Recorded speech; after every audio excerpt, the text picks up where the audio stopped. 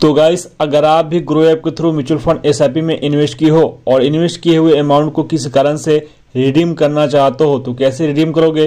पूरी जानकारी step by step बताने वाला हूँ और साथ ही साथ लाइव पोस्ट करके दिखाने वाला हूँ किस प्रकार से आसानी से रिडीम कर सकते हो इन्वेस्टेड अमाउंट को। तो अगर अपने चैनल पर नए हो तो चैनल को सब्सक्राइब कर लीजिएगा और वीडियो अच्छा लगे तो लाइक करना मत भूलिएगा। चलिए वीडियो को शुरू करते हैं और जानते किस प्रकार से ग्रो ऐप में इन्वेस्टेड अमाउंट को रिडीम करते हैं। सबसे पहले आपको बता दूँ कि ग्रो ऐप से mutual funds amount redeem करना बहुत ही आसान है। तो इसके लिए सबसे पहले अपने मोबाइल में ग्रो ऐप को ओपन कर लेना है। तो यहाँ पर मैं अपना ग्रो ऐप को ओपन कर ले रहा हूँ। और ग्रो ऐप ओपन करते समय पिन माँगता है तो पिन डालकर लॉगिन कर लेना है।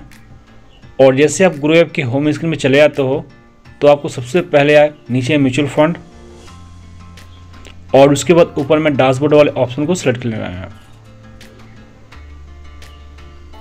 और उसके बाद यहाँ से आपको उस फंड को सिलेक्ट लेना है, जिस फंड का आप मनी रिडीम करना चाहते हो। तो एग्ज़ाम्पल तौर पर यहाँ पर मैं एक फंड सेलेक्ट लेता हूँ और आपको मनी रिडीम करके दिखा देता हूँ। तो फंड सेलेक्ट करने के बाद यहाँ पर आपको रिडीम वाले ऑप्शन क्लिक करना है और उसके बाद यहाँ पर आपको अमाउंट देना है, जितना आप अमाउंट रिडीम करना चाहते हो। तो आप जितना अमाउंट इन्वेस्ट किए हो, उससे अगर आप कम अमाउंट रिडीम करना चाहते हो तो आप रिडीम कर सकते हो। और अगर आप टोटल अमाउंट रिडीम करना चाहते हो तो यहाँ पर आपको रिडीम ऑल वाले ऑप्शन में क्लिक करना है। और उसके बाद नीचे में वेरीफाई एंड रिडीम ऑल वाले ऑप्शन क्लिक करना है। और उसके बाद आपके रजिस्टर्ड ईमेल आईडी और मोबाइल नंबर पर एक ओटीपी आता है तो यहाँ पे काफ़ी समय शो कर देता है तो आपको नीचे में कन्फर्म वाले ऑप्शन में क्लिक कर देना है।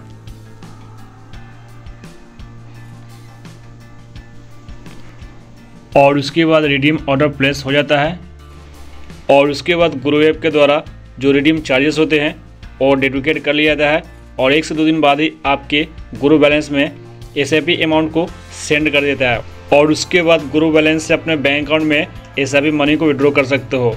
और अगर आपको ग्रो बैलेंस से मनी विड्रॉ नहीं करने आता है तो इसके ऊपर कंप्लीट ट्यूटोरियल है। आप जाके देख सकते हो मेरे चैनल पर।